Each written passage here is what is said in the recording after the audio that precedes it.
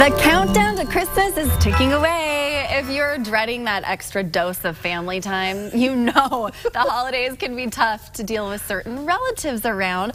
And Val, Val Baldwin is here to help us sort of navigate yes, through this. No worries. Uh, it's interesting because family, I mean, they're the people we love most. Of course. And yet somehow they can be the ones who drive us the most crazy. Why Absolutely. is that? That's just typical and normal. Uh, there are some people who can be a little more difficult, and that's all right. But the thing that we have to understand is that we cannot change the other person, but you can adjust your behavior. So we can adapt. We can adapt, and it's all about showing love and respect. And I've got five fabulous strategies. I love it. Okay, yes. let's jump in. Yes, Number yes, one, you say plan ahead on what your relationship boundaries are. What does that mean? Actually, your conversation boundaries. Okay. Yes. Okay. So what are you going to feel comfortable Okay. with talking about? So this I mean, is about politics your can be- dialogue here. Exactly. So let's say that you're not comfortable talking about politics. You know, that can get really oh, crazy. Uh-huh. That's or if, or if there's other things that you're not feeling comfortable with.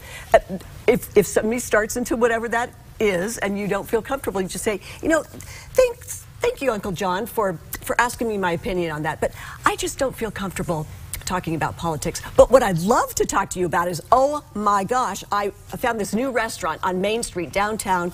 It's incredible. So you, what you do is just You just kind of deflect, you deviate skirt it a to little bit. to a lighter, happy topic. Do or people tend to get offended by that, or do they feel Um, like, okay, I'll it's okay. You just you, just, move go on. there. Just you just have to do it. Yeah, and, and you're being very honest with them.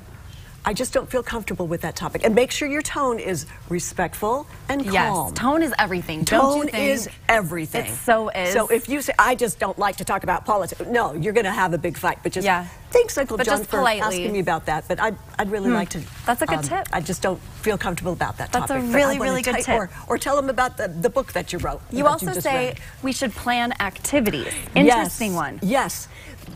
Downtime can make it challenging for difficult, challenging people. Stuff comes up when people Stuff comes up busy, if they're right? if they're bored or they're just hanging around. Yeah. So just make sure you have plenty of activities. Maybe you're going to play board games or charades or decorate cookies or even better if you can get people outside. You know, maybe you're going to do a snowman contest. I was going to say Utah's hard, but maybe you make maybe you make fun out of the snow. Like maybe you bundle up and all be as a family. Exactly. Do something out there. So that is just- true. When you're busy, you're not thinking about little fights to pick or. Yes. Yeah. Yes. I get that. And it makes things happier. Okay, know, the next doing fun one? things. Next one is oh, this is very important. Plan on an arrival time and an exit time. Oh, this is And be genius, Very Val. specific. Now, whether you are hosting or whether you're going to somewhere else, okay, make sure you're very clear and to let them know, hey, I, I want to come to your we want to um, travel to your house for the holidays. I know you guys are going to be hosting. Is it okay if we come in on such and such a date and when we'll be leaving? Mm-hmm. Does that work for you? And if not, we're happy to adjust. Lay it out there. Yes. Or if you're hosting, let's say you're doing the the the, uh, the Christmas Eve. We all have that relative who shows up like a half an hour early every time without fail. Yes, or and it's so hard. If you just keep it open, they may stay forever. You Yeah. never know. Yeah. So just make it clear, like on the the Christmas Eve, you're doing the Christmas Eve event. Say, uh, send a text or an email out to everybody. I'd like everyone to show up at 4:30. We're going to do our family white elephant gift exchange. We'll have dinner, and then we will uh, watch our our traditional movie of the So family next you say plan your responses, which we've talked about a bit, and I want to get to our last one because it's my favorite one of Okay, all. yes. Plan on giving yourself an important job. This is one I never thought of. Okay, yes. If you want to be able to have a really good exit for different, you know, difficult situations, make yourself the family photographer. Or maybe you're the one who's going to be setting the Christmas table.